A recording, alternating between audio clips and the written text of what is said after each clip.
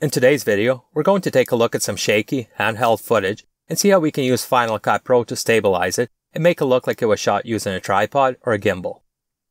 Hey guys, and welcome back to my channel for another Final Cut Pro tutorial. Before we get started, one thing to consider is when you stabilize footage in post-production, Final Cut Pro will scale up your footage. Doing so, you lose resolution and your video may appear a little bit soft. That's why whenever possible, shoot your clips in a higher resolution than your project. All my demo clips, for example, were shot in 4K, and my project is 1080. This will allow me to scale up my footage up to 200% and still retain my full project resolution. That being said, let's take a look at my clip. In this clip, I'm holding my camera with my hands and walking over a rough surface, so clearly there's a lot of shakiness in this clip. To stabilize this clip, open the inspector, and with the clip selected, scroll down to the bottom. Here you'll see a stabilization checkbox. Let's select it. Now, in the bottom of the viewer, you can see Final Cut Pro is analyzing for dominant motion. This may take a couple minutes, depending on the length of your clip.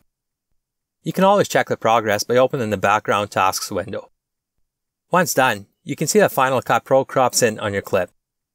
Over in the inspector, two of the previously grayed out items are now available. First is a stabilization method, where you can choose from automatic, where you let Final Cut Pro decide the best method to stabilize your clip, or you can manually select between Inertia Cam or Smooth Cam. Inertia Cam is optimized for video footage that has camera moves, such as pans and zooms. What this effect does is it takes out all the little shakes and bumps and does its best to smooth out any big camera movements. This method only has one adjustment slider for smoothness. Your other option here is called Smooth Cam. Smooth Cam is very similar to Inertia Cam, but it lets you individually adjust translation smooth, which adjusts left, right, up and down movement of your shot, rotation smooth, which adjusts the rotation around the center point of your image, and the scale smooth slider, which adjusts the forward and backward camera or lens movement. Personally, I prefer to use inertia cam 99% of the time. Just seems to work better. I'll go back to the inspector and select the automatic method. And, as you can tell by the adjustment controls, Final Cut Pro selects inertia cam from a clip. You can adjust the amount of stabilization in your clip with this slider. When you increase the smoothness value, your clip will be steadier, but you also crop in on your image more. Depending on the content of your clip, you might have to find a happy medium. If you run out of room on the adjustment slider, which maxes out at 3, you can keep going by clicking on the number and manually entering a higher number. Let's take a look at our clip before and after the effect has been applied. Not too bad. Let's apply this effect to our next clip. When you watch it, you can see the shakiness has been mostly removed, but there's still some general camera movement. If we look in the inspector, you can see Final Cut Pro has applied the inertia cam effect again, but this time we have one more adjustment option, the tripod mode checkbox.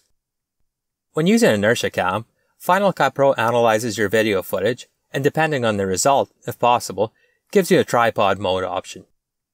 What this does is lock your clip down so there's no movement in the shot at all, as if your camera was on a tripod. Let's select this checkbox and review the clip. As you can see, there's no camera movement at all in my clip. If we look at the before and after, there's quite a difference. Final Cut Pro Stabilization Effect is a great tool that can be used to salvage which would otherwise be unusable shots. Next time you have handheld footage in your project, try it out. But like I mentioned before, it helps to have a higher resolution source footage so you can still have full resolution when cropped in. If you enjoy this tutorial, make sure to hit the subscribe button. New videos released weekly. Thanks for watching, and I'll see you next time.